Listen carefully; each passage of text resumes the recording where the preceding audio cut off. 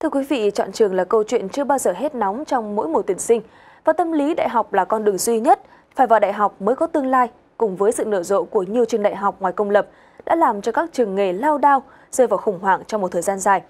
Tuy nhiên, vài năm trở lại đây thì tình hình đã khác. 2017 là năm đầu tiên tuyển sinh nghề vượt chỉ tiêu.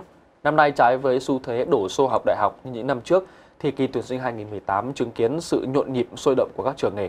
Thậm chí là những thí sinh có điểm số khá cao để bước vào ngưỡng cửa đại học. Bên cạnh việc đổi mới chất lượng đào tạo thì nhu cầu thị trường về thợ có tay nghề cao và khả năng có việc làm ngay sau khi ra trường là lý do tạo ra sự hấp dẫn của các trường nghề với phụ huynh và học sinh. Chúng ta hãy cùng xem các trường nghề đang xét tuyển thí sinh như thế nào trong câu chuyện buổi sáng ngày hôm nay. Kết thúc đợt 1 xét tuyển, trường Cao đẳng nghề Cơ điện Hà Nội đã nhận được trên 500 bộ hồ sơ nhập học của thí sinh. Đợt 2 sẽ bắt đầu từ ngày 18 tháng 8 và nhà trường cũng khẳng định rất lạc quan là sẽ đạt được mục tiêu là 1.500 thí sinh trong năm nay. Lúc học ở trường ra thì mình có tay nghề sẵn rồi, xong là đi xin việc một phần nó cũng dễ hơn ạ. Sát với thực tế thì học ở đây thực hành nhiều. Điểm cao nhưng vẫn quyết định chọn trường nghề thay vì nhất quyết phải vào đại học. Như tại trường Cao đẳng Công nghệ cao Hà Nội, hiện tại ghi nhận có gần 100 thí sinh có số điểm từ 18 trở lên đăng ký học. Trong đó, thí sinh cao điểm nhất là 22,75 điểm. Thời điểm này, trường đã tuyển được hơn một nửa với hơn 1.000 chỉ tiêu. Không hẳn con đường đại học là con đường duy nhất, với cả các bạn ra trường đại học bây giờ thì cũng khá khó khăn trong việc tìm việc làm ấy ạ.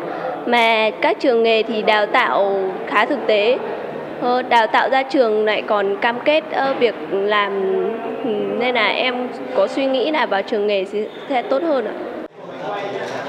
Trong khi các năm trước, trường cao đẳng phải chờ đại học công bố điểm tuyển sinh xong thì mới bắt đầu cuộc đua tuyển sinh, thì năm nay gần như các trường nghề tuyển sinh song song với các trường đại học. Nhiều người cho rằng thời thế thay đổi thì suy nghĩ của thí sinh và phụ huynh cũng phải thay đổi.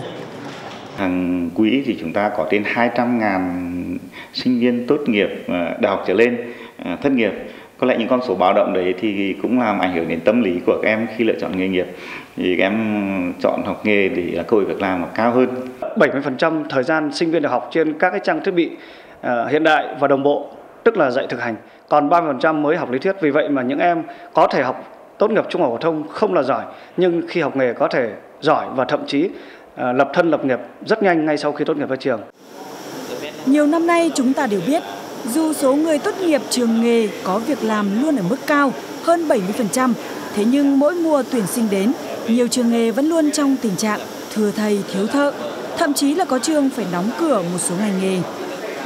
Có thể mùa tuyển sinh năm nay sẽ là cơ hội để chính các trường nâng cao chất lượng đào tạo và có chiến lược liên kết chặt chẽ với doanh nghiệp bởi đào tạo cái mà doanh nghiệp cần chính là chìa khóa để thu hút sinh viên theo học. Tuy nhiên, đó cũng lại là một thách thức lớn đối với đa số trường nghề. Một cái khó khăn, một cái rào cản lớn nhất chính là chúng ta phải có chính sách tốt cho doanh nghiệp khi họ tham gia vào quá trình đào tạo. Vì nếu có chính sách tốt thì họ vào một cách tự nhiên chứ không cần phải động viên. Các trường nghề phải thay đổi ngay theo yêu cầu thị trường. Doanh nghiệp nó cần công việc gì thì anh phải nghĩ ra và đáp ứng cái yêu cầu của của doanh nghiệp. Chứ đừng lấy cái mà chúng ta chỉ có nghề này thôi và chúng ta đào tạo cho họ. Thế là đào tạo nó rồi ra nhưng mà những sinh viên học nghề không có công an việc làm. Thay đổi để nắm bắt cơ hội. Ngay năm học đầu tiên, sinh viên của trường cao đẳng nghề thay vì cầm bút thì đã được tiếp xúc với máy móc, trang thiết bị để học thực hành.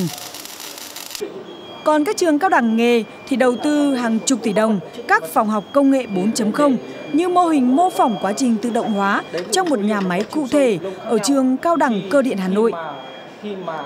Hay tại trường Cao đẳng Công nghệ cao Hà Nội, các em sinh viên được học trên một dàn máy tính hiện đại, đáp ứng được nhu cầu sáng tạo của các em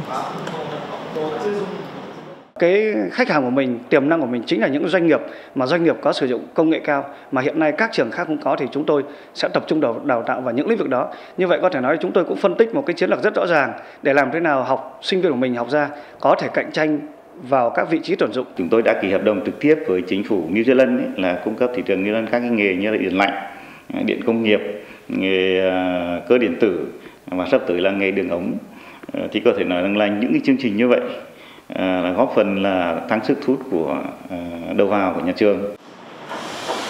Những ngày này, một số sinh viên tại hai trường cao đẳng công nghệ cao và cao đẳng cơ điện Hà Nội đang miệt mài luyện tập để chuẩn bị cho thi tay nghề ASEAN được tổ chức vào cuối tháng 8 này. Cơ hội mở ra hôm nay chính là sự khẳng định cho những quyết định đúng đắn của sinh viên trong ngày hôm qua.